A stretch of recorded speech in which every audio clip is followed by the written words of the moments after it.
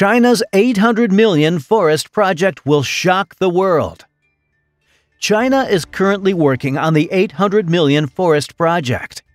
The project, which is considered one of the largest afforestation projects in the world, will shock the economists with its scale and potential impact. Let's know more. In today's episode, you are going to be amazed by China's amazing solution to the recurrent sandstorms. One of the largest projects. China is known as the most successful country in desert control in the world. And in 60 years, they planted 800 million trees in the desert. I don't think any country is willing to do this, nor does it have the patience to persist. American sand control experts once believed that China will control the desert through national finance and that it will not succeed if there is no profit to recycle. Therefore, why is China ready to do this? And how many of the 800 million trees that have been planted in China are still alive? The vast majority of China's deserts are located in the northwest portion of the country, such as Xinjiang, Inner Mongolia, Gansu, and Ningxia. The deserts in China have an area of 2.62 million square kilometers, which is equivalent to 20% of the country's total land area, and this is taken care of by the Chinese government. Aim of this project this 800 million Mu Forest project is a reforestation project undertaken by the government of China. The project, which began in 1978, aims to increase the country's forested land by 800 million mu, which is approximately 53 million hectares or 130 million acres. The project has been successful in increasing China's forest coverage and as of 2019, the country's forest coverage had reached 22.96%, an increase of 2.24% compared to the forest coverage in 1978. The project also helps to improve the environment, protect biodiversity, and combat desertification and soil erosion. Why were the initiatives not taken before? When quicksand erodes people's land and farmland, all that humans can do is relocate. In the early 1950s, China was still struggling to solve the problem of food and clothing, and there was no money to invest in desert control. The Sahara Desert has an impact not just on countries in Africa and Egypt, but also on those in the Middle East. When spring dust storms hit, Egypt's capital city of Cairo, along with Alexandria and other cities, will take the brunt of the damage. In extreme circumstances, flights will be canceled and ports will be blocked, causing a great deal of discomfort for inhabitants as well as those who rely on transportation. The United States of America is also a victim of the desert. The recurrent sandstorms are caused by the combination of strong winds and a lack of vegetation, which allows sand and other sediment to be easily picked up and blown around. Sandstorms are a major environmental and health concern in China, as they can cause damage to infrastructure and buildings, reduce visibility on roads and highways, and lead to respiratory problems for people who are exposed to the dust. Measures to control The government of China has implemented various measures to address the problem of sandstorms such as afforestation and reforestation projects to increase vegetation cover, desertification control measures, and regulations on industrial and agricultural activities that contribute to land degradation. One such measure followed by China was planting a big number of trees in the desert. In just a few decades, the country planted 800 million trees. One of the most important initiatives for sand control in China is the construction of the Three North Shelter Belt.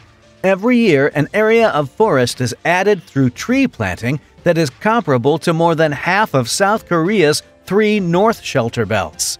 In Taklamakan Desert, you may observe a lot of Populus euphratica. This plant is known as the undead tree because of its endurance to drought and resilience to extreme temperatures. This plant is less dependent on water and can protect against wind and fixed sand while also improving the soil. The main root can reach a depth of 10 meters underground. while the lateral root can stretch as far as 30 meters. It plays a significant part in making a desert green. Drilling wells close to desert areas and constructing desert reservoirs are two projects that are without a doubt considered miracle projects in China for the purpose of resolving the issue of inadequate water supply in desert areas in order to prevent sandstorms as they are causing the major destruction. This took place through a program put forward by the Chinese government of planting 800 million forests. The 800 million Mu Forest Project is a reforestation project undertaken by the government of China. Means to implement the project The project was implemented through a variety of means, such as afforestation, reforestation, and artificial regeneration, promoting the natural regeneration of forests. The government also provided subsidies and other incentives for farmers and herders to plant trees on their land and to protect existing forests. The project has had a positive impact on China's environment and economy. The forests help to conserve soil and water, improve air and water quality, provide habitat for wildlife, and create opportunities for ecotourism. Additionally, the forests also play an important role in carbon sequestration, which helps to combat climate change. The forests also helped to increase the amount of timber available for the construction and furniture industry.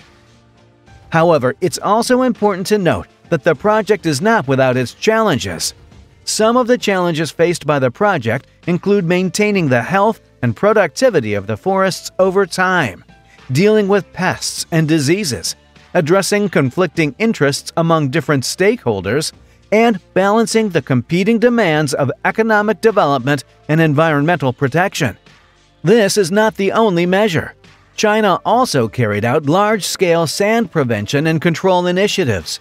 As people in China discovered an underground river with a sufficient water source beneath the Taklamakan Desert. However, mining water sources in the desert is not a good thing to do and it is extremely difficult to do so. As a result, the water source for planting trees in the desert can only be diverted from the upper river, where the melted water of glaciers and snow gathers in the summer, and it is obtained by drilling wells.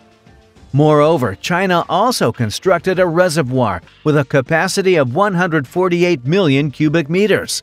It took nearly 40 years to build the reservoir, and once it was finished, the reservoir not only irrigated more than 600,000 mu of farmland for local farmers, but it also provided water for the two deserts that were located next to the reservoir. Installation of solar power stations. China has also incorporated other measures to control the desert, including the installation of the world's first solar powered stations in the desert to cultivate green plants. By blocking the sun's rays, photovoltaic panels have the potential to significantly cut down on the amount of surface water that is lost to evaporation. The shade impact of photovoltaic panels can minimize evaporation by up to 20 to 30 percent. And the photovoltaic module board can also effectively lower the wind speed. This can improve the living environment of the plants very significantly. 7 combating dust and storm. China has been actively working to combat dust and sandstorms, as these weather phenomena can have significant negative impacts on the environment, public health, and the economy. Planting trees and other vegetation can help to stabilize sand dunes and prevent wind erosion.